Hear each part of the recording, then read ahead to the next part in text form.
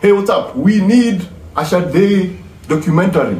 Now, excuse the background noise, there's a, a, a little bit of construction happening outside, but we need a Sade documentary. I mean, Netflix right now have a documentary for Backstreet Boys, how they were exploited back in the 90s.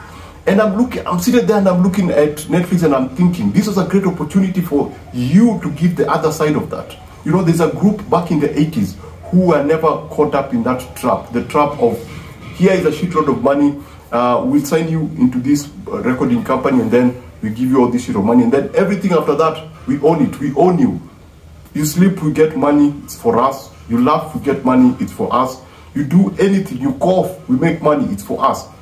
They were able to navigate that drama and actually come out on the top. That's Sade. If you don't know what Sade did, Sade, when Sade was coming up in England, they decided now they've become like super big. Recording companies have not- noticed them and they want to sign them. So they went for a company that, that was not very big. And the agreement was that they took very little money and agreed that they would own all their music. They did not sell their soul. They did not sell their skill. They actually agreed on, you know, keeping their masters. That's what people like say, keeping, like owning their own music. And that enabled them to later on make a shitload of money and decide, you know, we can stay for 10 years, make music, disappear, stay for 10 more years, make music, disappear, show up after 10 years again, make music, disappear. You know, live actually a good life. And apart from that, let's just be honest to ourselves. Sade was like the most beautiful woman in the world. Why are we not making a documentary about her? I'm not just talking about her beauty, I'm talking about the fact that she came from Nigeria. Her parents were from Nigeria and they moved to England. And you know, as a young girl, what was it like for her? That's the lead singer. Her name is actually Sade Adu. It's Sade Adu. So Sade moving to England, what does that mean? What does that mean for her growing up in that environment? What does that mean for her being a fashion designer? What does that mean for her joining the music industry, becoming a backup singer, then becoming the, the leader of a band, then creating that band, and then deciding are going to call this band Sade. You know, instead of any other fancy name, we're just going to call that band Sade. And, and, and what was it like navigating the 80s? I mean, what does music mean to her? Because apart, and, and I'll talk about Sade the person and I'll talk about her impact on me personally in terms of just being a film person. But during the 80s, how was she able to navigate the drama of the 80s? Everyone in the 80s was on some form of drugs. Where was she during that period? What was she focusing on? And why has she always done that thing of disappearing for 10 years and showing up in the 10 years? You know, I watched some videos of Sade on YouTube and she was talking about, uh, first of all, she's a very ordinary person. And here's the thing, and now I just have to go to Sade the person. I'm sorry. I, I, while in while I was growing up, people like myself were falling in love with Mya because of how sexy she was, Beyonce because of how sexy she was, Toni Braxton because of how sexy she was, you know Rihanna when she come she came out because of how sexy she was, Ciara because of how sexy she was. Guess what? Me coming across a Sade video and thinking to myself, wow, what a beautiful woman. Was she sexy? No, there was no sexiness to her. She was just beautiful, genuine in how she was singing, genuine in how she was expressing herself, properly and decently dressed.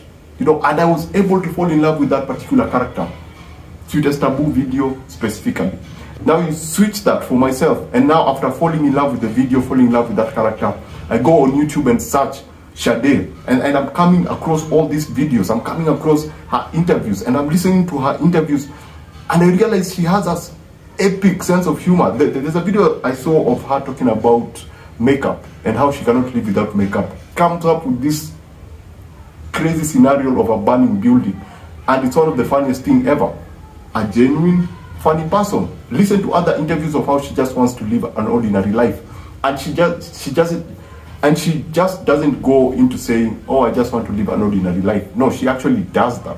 She disappears for 10 years, pops up after 10 years. There are all this speculation jumping everywhere. She's doing what, she's doing what, but she just keeps quiet, disappears, pops up again, does an epic album, disappears again, pops up after 10 years, does another epic video. I think that's the epitome of an artist who has lived her life and actually served the industry very well. There's that balance, and that's why I feel that Netflix need to make that documentary, man. You gave Quincy a documentary, why not Sade?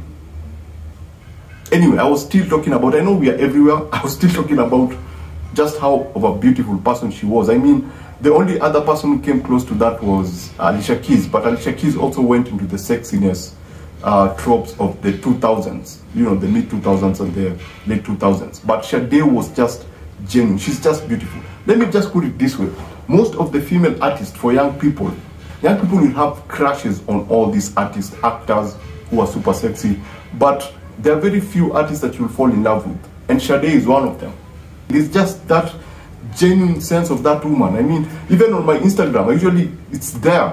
I've said I love Sade. I, am just like, she's like the most awesome person ever. I've never met her. I don't know the kind of person that she is. But there's just that humility and realness that comes with that particular artist that you don't see anywhere, even in the modern music industry. Now, when it comes down to the technical stuff and how Sweetest Taboo, the video, music video had an impact on me personally in life, apart from just how beautiful Sade was. But the technicalities of that video, Sweetest Taboo, is amazing. You know why? If you look at the Matrix, it had a filter, what you guys like to call filter, but on a technical uh, point of view, professionals call it lookup table, LUT, which is like a filter that is put on a film to give it one predominant look.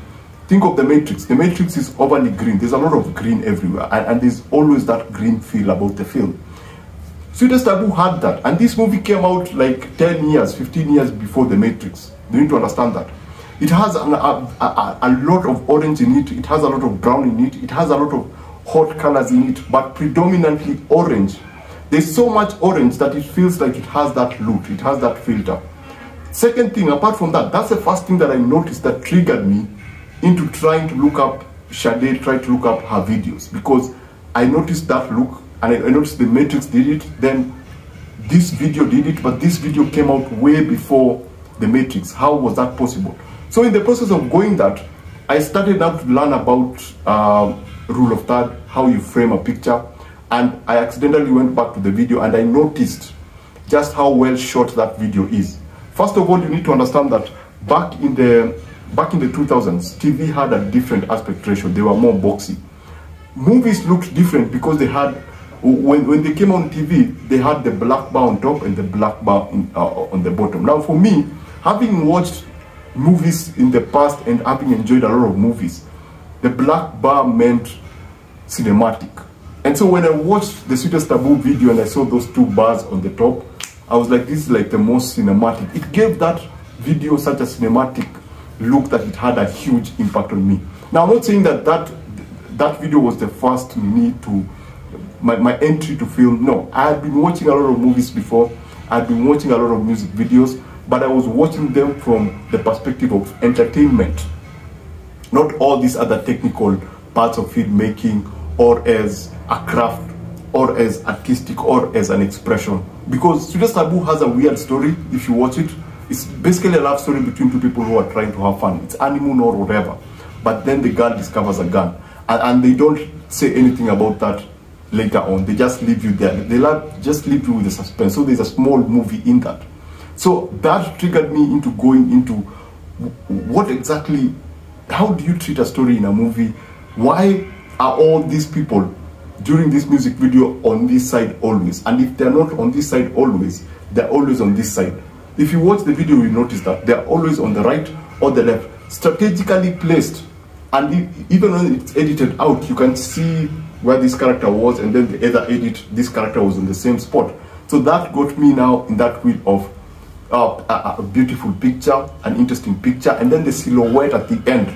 The silhouette with the brightly lit during the day outside and then Sade and the dude and the walls are here and then they come and kiss and then got, they're all in black but the background is lit very very well so I, I just became more curious then uh, during that particular period I, I had also seen Dark City and it had messed my mind up so I was in that happy place of learning about film Dark City came out before The Matrix and Dark City came out before The Matrix I did not know that I thought it came after The Matrix and I was like this movie copied The Matrix. Then I went, did a bit of research and discovered that it came out before The Matrix.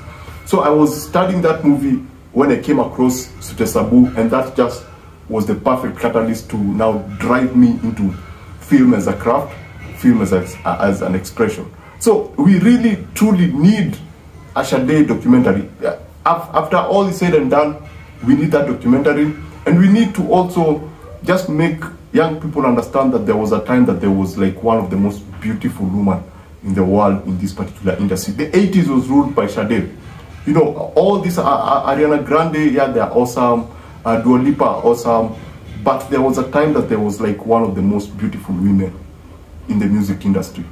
I'm, I'm not saying that because I'm saying whatever. I'm just saying that because I still maintain that Sade, that 1980s Sade, was my idea of what a beautiful woman is supposed to be. So basically that's it. Remember to always watch what you enjoy and enjoy what you watch. I shall see you on the next one. Adios!